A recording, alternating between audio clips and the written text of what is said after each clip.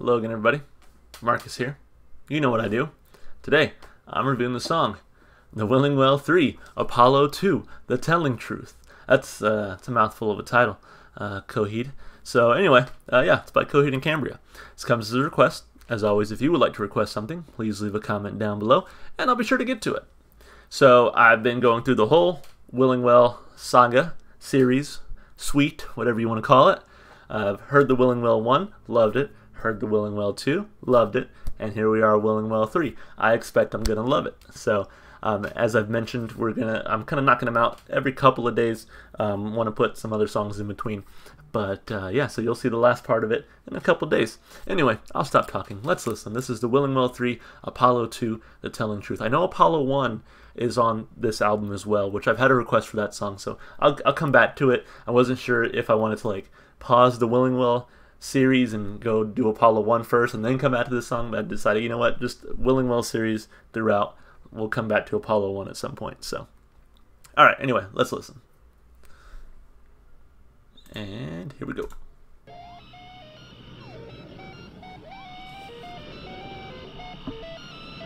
Reminds me of like the end of Du Hast by Rammstein.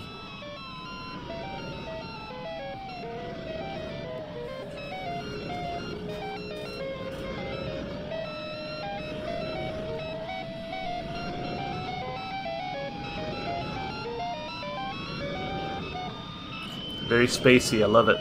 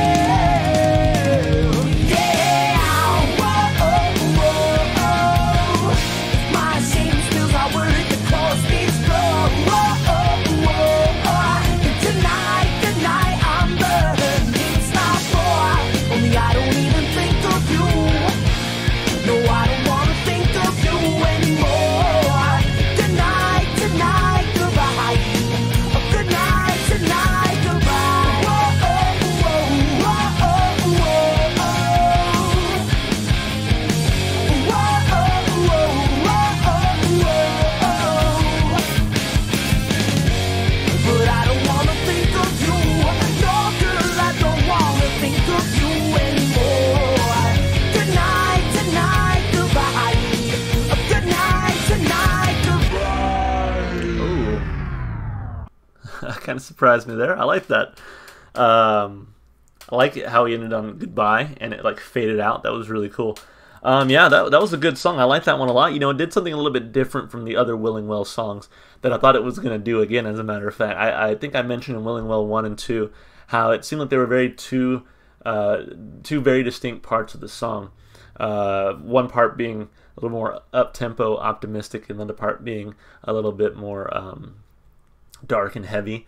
Uh, I feel like this was it was going to do it again here, and they definitely started off a little bit darker and heavier in the in the beginning of the song, and then towards the middle there they kind of hit you with that sort of upbeat, optimistic sounding uh, instrumentation. But then what they did a little bit different here is instead of continuing that to the end of the song, they kind of went back to the heaviness, which uh, Willingwell one and two didn't quite do. Usually when they when they kind of flipped the switch, they stuck with it to the end of the song. So this one was kind of cool that they uh, sort of uh, took took a different route a little bit.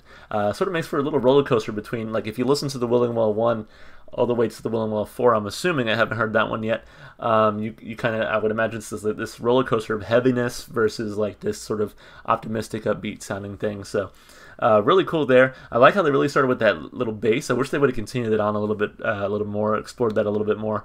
But uh, it was pretty cool. I liked that.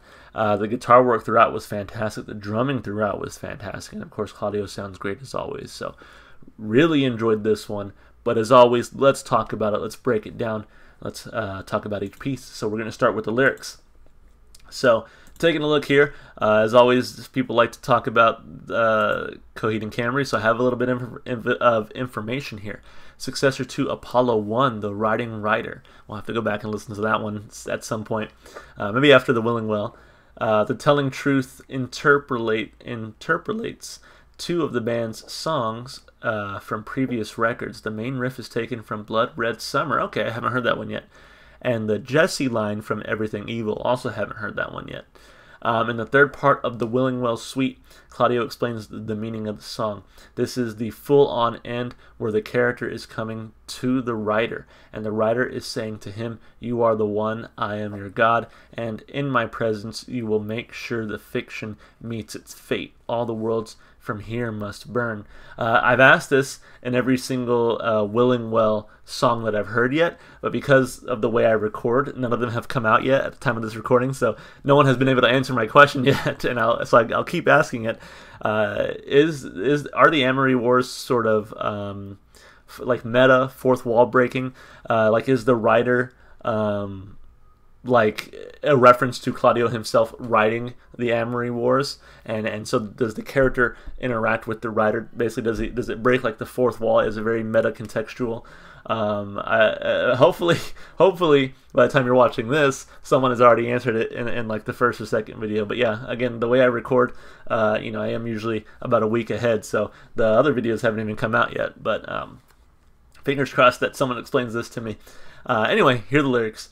In the worst of all your fears, you have come so far to hear that in turn they've showered your name as uh, as the laughing stock. Now by fire you must hang, as my word holds course through vain.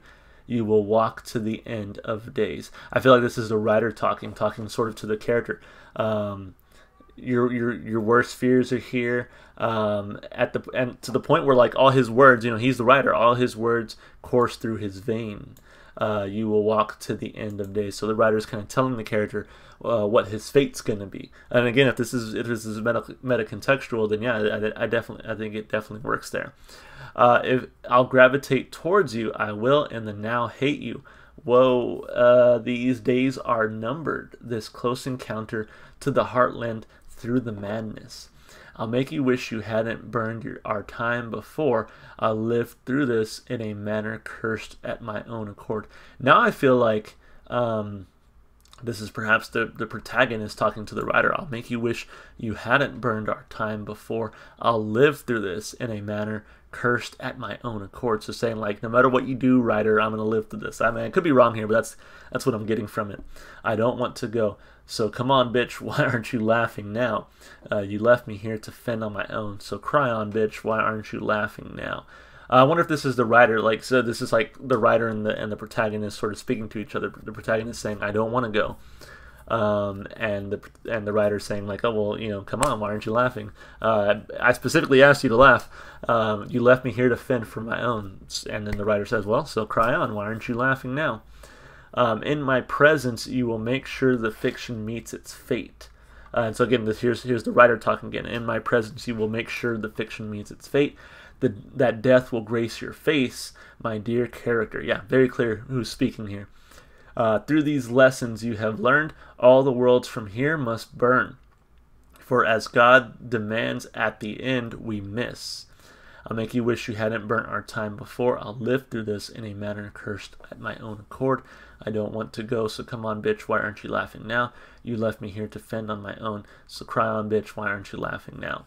If my shame spills are worth across this floor, then tonight, good night, I'm burning star four.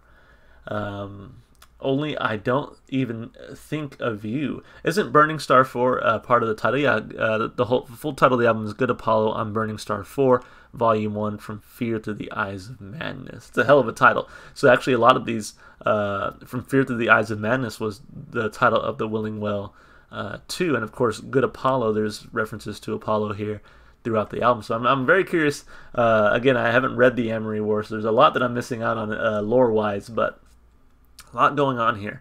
Uh, let's see, I, I took a step back right here. Then tonight, good night, I'm Burning Star 4. Only I don't even think of you. No, I don't want to think of you anymore. Good night, tonight, goodbye. Good night, tonight, goodbye. If then, should they come home with failed attempt, will will know I won't leave a stone unturned. These worlds will surely wait, wait, uh, will surely and then burn. Wait, wait, wait, wait, wait. Uh, but what did I do to to deserve all of you. Uh, Jesse, bad boy, just come look at what your brother did to that girl's precious little whore of a body. Jeez, Jesse, bad boy, just come look at what your brother did to that girl's precious little whore of a body. Jesse, just come and look at what your brother did. One a variation of a line and vocal melody from Everything Evil. Apparently, the line from there is Jesse, just come and look what your brother did here. He did away with me. This is said by the writer, uh, writing writer in the Good Apollo Volume 1 graphic novel, where he's taunting Jesse, aka Inferno, right before killing him. Okay, wow. The line refers to Jesse's brother Coheed being manipulated into killing his own daughter. Damn. An event that took place during the second stage Turbine Blade. Uh, the first album slash comic series. Okay, wow, a lot going on here. Yeah, uh, very uh, steeped in lore. Um, so I'll make you wish you hadn't burned our time before. I'll live through this in a manner cursed at my own accord. I don't want to go, so come on, bitch, why aren't you laughing now? You left me here to fend on my own, so cry on, bitch, why aren't you laughing now? If my shame spills are worth across this floor, then tonight, good night, I'm burning star 4. Okay, I don't even think of you. No, I don't want to think of you anymore. Good night, tonight, goodbye. Good night, good night, uh, good night, tonight, goodbye. But I don't want to think of you. No, girl, I don't want to think of you anymore. Good night, tonight, goodbye. Hmm. Yeah, a lot going on here. You know, uh, I, have said in many songs before from from these guys, it's like I don't always know what's going on in the story. I don't always know what's going on in the lyrics, but I really appreciate Claudio's uh, sort of poetic uh, way of writing in many in many aspects. Um, it really gives me the feel that I always every single Coheed and Cambria song. After reading through the lyrics, I always want to go read the Amory Wars, and so huge props to to uh, Claudio. I think it's so ambi- ambitious to really make a band based on uh, this comic or vice versa, uh, and and really have them work. Uh, in unison together, I just think that's so cool, you know. Um, so for me, uh, no matter how much I understand of the lyrics, I do I, I, can always sort of appreciate their artistic value and the way that they're written. So two thumbs up from me. I think as far as the instrumentation goes, uh, like I said, I really like the bass. I like how they kind of started um, parts of the song with that just lone bass. Uh, sounded really good, and then before the rest of the instruments kicked in, kind of like the spacey ambiance there in the beginning. Uh, the guitar throughout was fantastic. A lot of really cool uh, guitar licks, um, really high pitched in a lot of ways. Uh, uh, kind of um, very signature of. Coheed and Cambria's style. Um, I think one of my favorite parts was was some of the more heavier parts where you had these sort of like galloping um, uh, guitar and, and, drum fills that were just very enjoyable. So uh, a lot of good heaviness here. I like the sort of bridge section where it kind of got a little bit quieter and, and um, a little bit more again up, almost upbeat, optimistic sounding. But again, uh, even though it sounds optimistic, there's still a lot of heaviness in the in the lyrics and and so it's it's not really optimistic. I will say that right now, and I fully I'm fully aware of that. So. Um, but that was enjoyable. I mean, I mean, uh, instrumentally, it was just a very strong song, and I, I got to give huge props to the guitarist, which I think, uh, I think Claudio typically does what rhythm. I don't know if he uh, plays the uh, yeah he does rhythm. Who does lead guitar? Because honestly the guitar is something i've lead guitar travis stever. Dude does an amazing job. I've really appreciated the guitar work throughout coheed and cambria's discography from what i've heard so far. He does a fantastic job and then on the drums looks like we have uh, josh eppard dude does a fantastic job on drums here again i loved that heavy sort of galloping drum work and, and guitar work throughout so for me uh, vocally uh, claudio sounds great vocally um, instrumentally, two big thumbs up, man. This band has really blown me away with some of their heaviness, their guitar work. Um, just fantastic, fantastic, man. I can't believe that uh, I really didn't get into this band um, earlier in my life because, for one, I love like sci-fi and fantasy, and this is right up my alley. I love lore and, and uh, sort of rich fantasy worlds. I mean, hell, I play D and D. You guys, you guys see the shirts. I love that stuff. So it's it's amazing to me that it's taken so long for me to really get into this band. Um, especially uh, being a lyrics guy and again being a fantasy guy man i love it um, so uh, with all that being said for replay value i'm definitely going to listen to this one again. You know every single coheed and cambria song i've heard so far on this channel has gone on the playlist man. I've just really really been loving what i hear from these guys. So going on the playlist it's getting its playtime. Uh, i've really enjoyed the willing well uh, suite of songs, so I can see why so many people uh, recommended and requested uh, this group of songs. So we'll finish it up in a couple more days. Replay value gets two thumbs up. The whole song across the board gets two thumbs up. As I said, we'll finish the Willing Well series uh, about two couple more days with the Willing Well 4, and then maybe we'll come back to Apollo 1 since it, you know it all does kind of tie together. Um, but yeah, that's it for me. Thank you so much for the request. If you enjoyed the music as much as I did, definitely go support the artist. Go listen to the music wherever you can. One place you can definitely find plenty of Coheed and Cambria at this point is in my Spotify playlist. Has every single song I've heard so far on my channel. It's a, it's a pretty good day of listening, uh, and I do I do mean day. It's like 20 hours or something crazy like that at this point. Um, if you want to support me, just all the normal stuff you do on YouTube would be fantastic. Uh, you know, like and subscribe and comment. So, all right, yeah, I'm out for real. Hope you guys are staying safe and healthy, and I hope to see you in the next video. Bye for now.